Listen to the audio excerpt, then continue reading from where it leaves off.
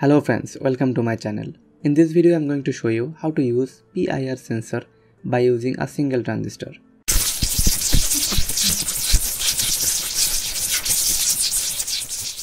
To make this project you need a PIR sensor module, an NPN transistor such as BC547, 9 volt source, LED, 100 ohm resistor, some connecting wires and a breadboard if you don't want to solder this circuit. Before make this circuit, there is something to know. BC547 is an NPN transistor. This is the suitable image that helps you to find the base emitter and collector of this transistor. Now PIR. PIR stands for passive infrared. This type of sensor are used to detect motion of anything. For example, you are walking in your room. Your movement can detect this PIR sensor. Let's look at the pinout of this sensor. You can also see two preset on the sensor board. The one preset for adjust sensitivity and other one is the delay time adjustment. Okay now i'm making this circuit on breadboard. Now i'm setting the transistor on breadboard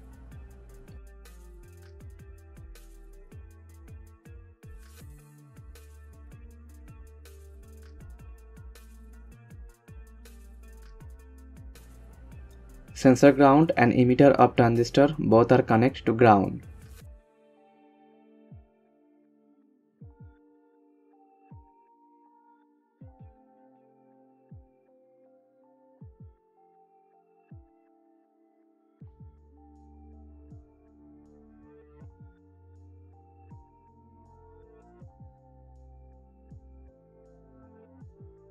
Sensor out connect to base of the transistor. Sensor VCC connect to the source VCC.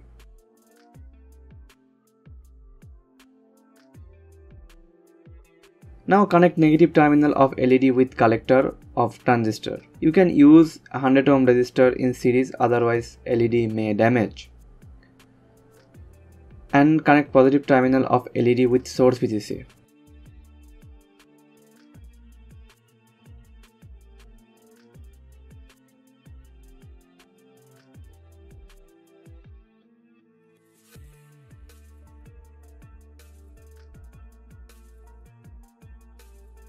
Now connect the source. I'm using 9 volt battery.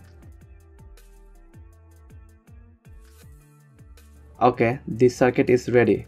Let's check it out. You need some several movement to sense the motion. See, it's working. I keep the sensitivity quite low. You can adjust by the preset. When you use uh, this PIR sensor module with microcontrollers such as Arduino, that will more efficient. But as a mini project it's okay with a single transistor. This is the circuit diagram that I follow to make this one. Okay that's all for today. Thanks for watching